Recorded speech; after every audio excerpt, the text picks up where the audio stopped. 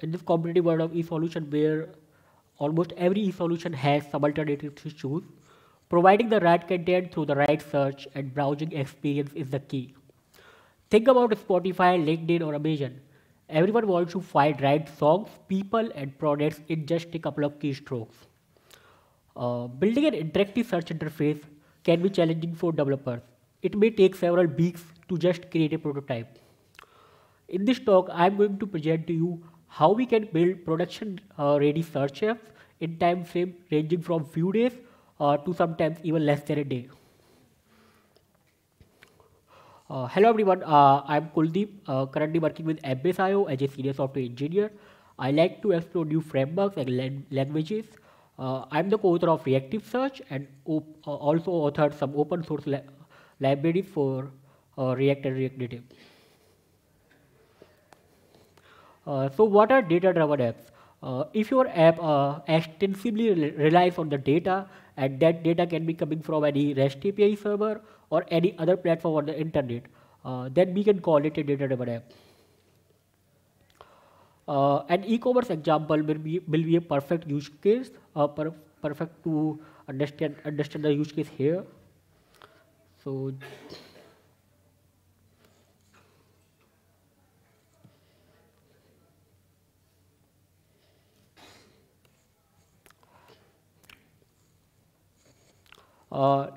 let's uh, look at, uh, I'm going to use Myntra.com as an example to understand the use case here.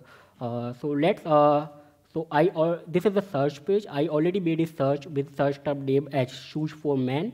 Uh, so you can see the UI. here we can see a set of results and there is a sidebar where it shows some filters. we can select these filters to make search stricter to get more relevant results. So this is the category filter which shows some categories as suggestions with some count values. And there is uh, a brand filter below which uh, looks like same as category filter but it filters the results by brand name. So just uh, going to play with it uh, and select a brand name here. So you can see that uh, as I selected the brand name, the results got updated uh, as well as the site filters. And we can also observe that now we have fewer suggestions for the categories and the count values are also got changed. Uh, if we uh, think of this uh, uh from a developer's perspective, then we can uh, imagine that each filter component is a standalone component uh, which, which is talking to the other filter components. and when, when there, there and like as I selected the brand name, it notified to the other filter components that brand name X is selected. And we should also notice that uh, these components are talking to the server. Like uh, when they get an update, uh, they talk to the server and uh, get the new results uh, according to the selected filters. Uh, go back to the slides.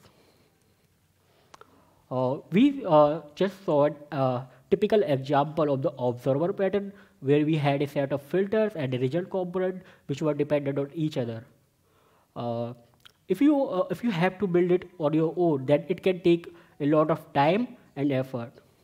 Uh, we can conclude that uh, to build data driven apps uh, we have to implement the component to component communication. Uh, the component should be able to talk to the server and uh, we can also we can not ignore the UI components let's suppose a scenario where a user has to shop for an iPhone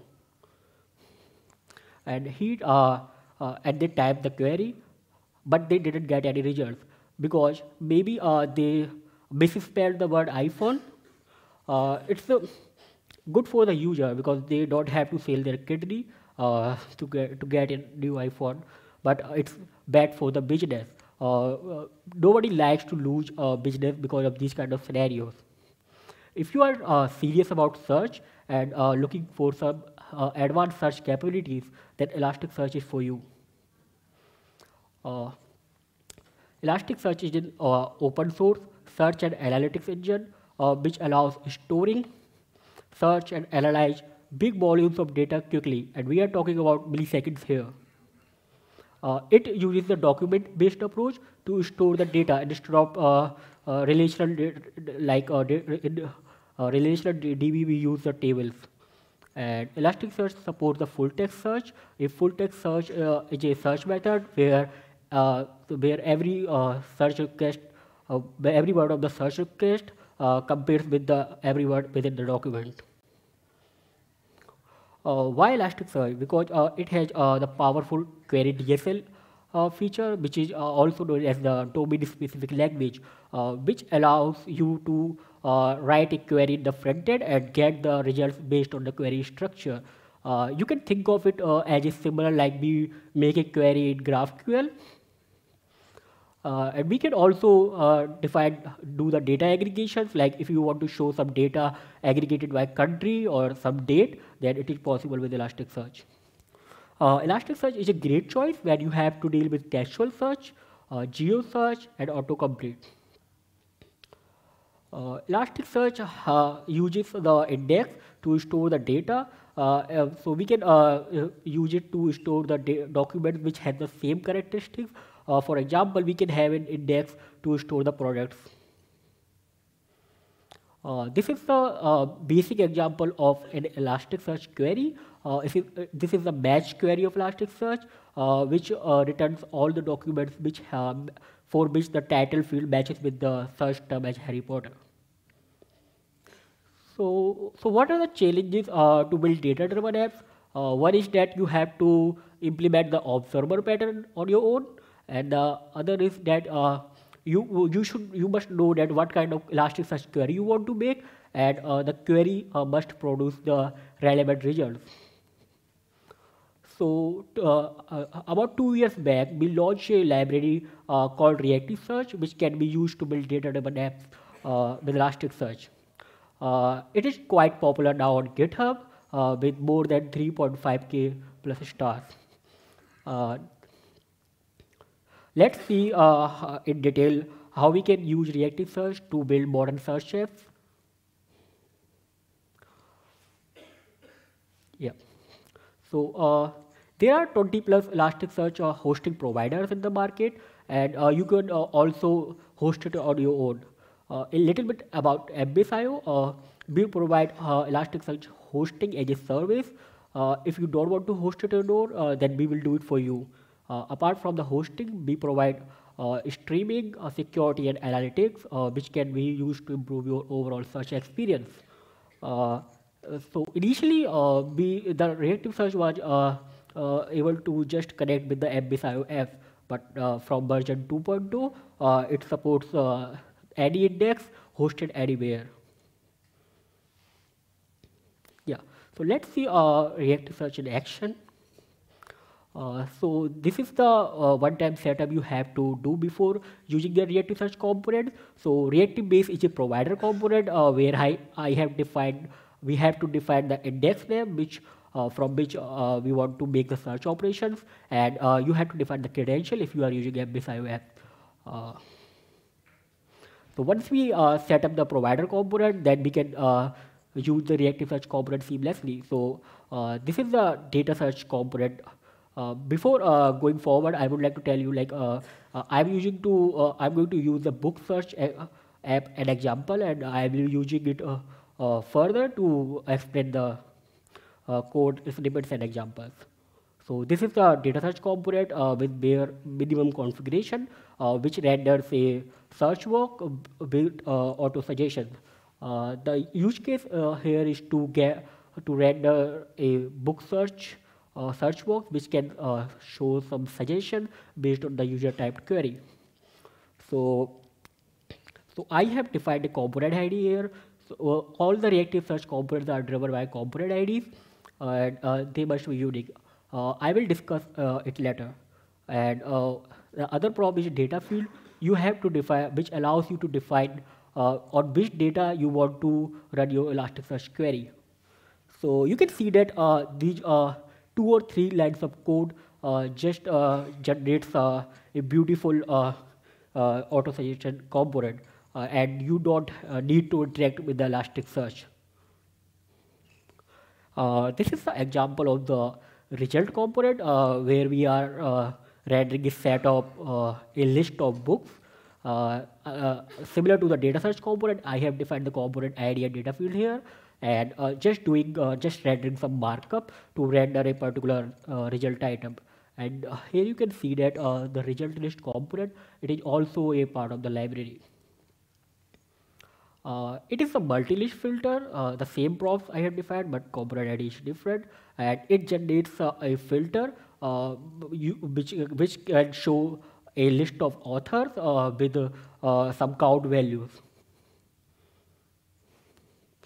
Yeah, so uh, one of the key ideas behind the reactive search is to allow users to define how their components should behave when they update in the other components. So uh, you can see uh, that uh, we have two components. One is the search component, which has the component ID as book search, which can be used to search for books. And there is a result component uh, for which I am using the component ID and result list, uh, which shows the list of results. But uh, for, because uh, by default there is no dependency between reactive search components, so if you make some changes in the search component, the result, re reactive list component will not uh, make uh, any changes in the UI. Uh, uh, so this is the same kind of observer pattern we have to implement here. So reactive search handles it uh, well. You have to define a React prop here. So you can see that in the uh, result component, I want to listen for the changes of the search component. So I just define uh, the so I just define the component ID of the I just define the corporate ID of the search corporate in list corporate. So just going to uh, share a quick demo with you. Uh,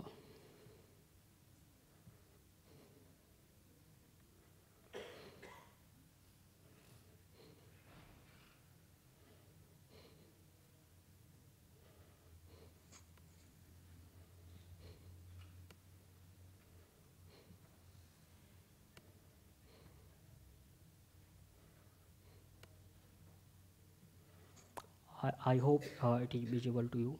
So uh, this is the uh, reactive based component. Uh, I set it up, uh, uh, initialize it. so this is some markup here I'm using. just remove it now. So some layout markup.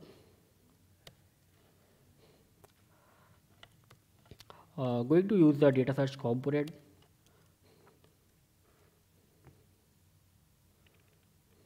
yeah so uh, it renders a uh, search component here and uh, for second component I'm going to use the reactive list here. Yeah. Uh, so which uh, renders the list of results. So uh, just going to add uh, some more filters. So let's add a multi-list filter. Uh, this single range filter by which we can filter the results by uh, ratings. So it's time to make some search. So you can uh, show uh, see that uh, it shows some suggestion. We can select it, and the results got updated, and also the sidebar uh, filters. So uh, this is the same kind of experience uh, we saw on the Myntra.com, and we can build it with just uh, 100 lines of code. You can see here. So uh, reactive search is different from the traditional UI libraries like Ant Design or Material in a way that uh, it implements the component to component communication, component to server communication, and uh, you don't need to be search expert. Expert. I mean, you don't ne even need to interact with Elasticsearch. Uh, so let's have a quick overview uh, of what reactive search offers. So it has a 25 plus UI components, uh, components for uh, everything like uh, for list, range, date, dates components, etc. And it also provides the easy uh, class injection. You can customize your application with class name and style props. You can also uh, customize uh, the subcomponents with inner class prop. And you can also define a theme object, which can be used to themify your whole application.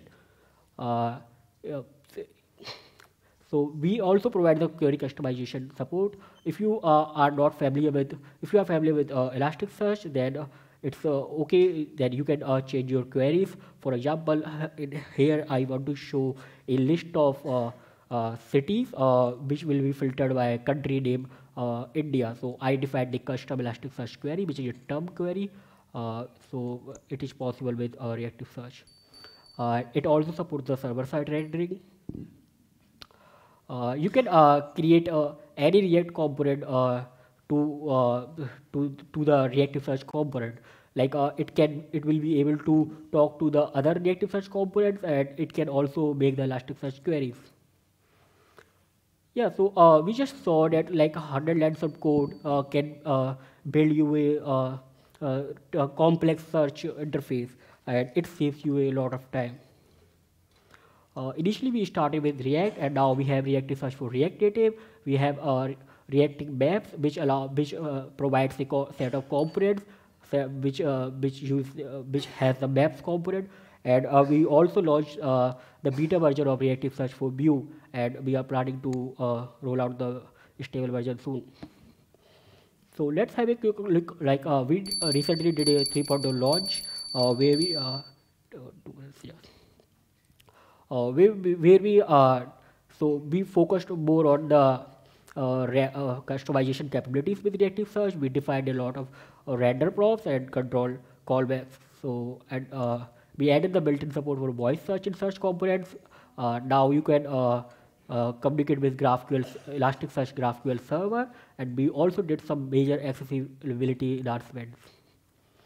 So uh, instant search is a similar project which uh, uh, which does a similar thing, but it is for only only for the Algolia apps. And SearchKit is another library, uh, but uh, it is not well maintained, and their power users have already migrated to reactive search. Uh, reactive search is used by companies like Facebook Research, NASA, and uh, uh, US, US level of department, and and hundreds of small and medium uh, companies. So whatever I discussed is open source. You can find the references here. Uh, you can uh, follow me on GitHub or Twitter. My username is bietkul. Uh, thanks, uh, thanks for the time and opportunity.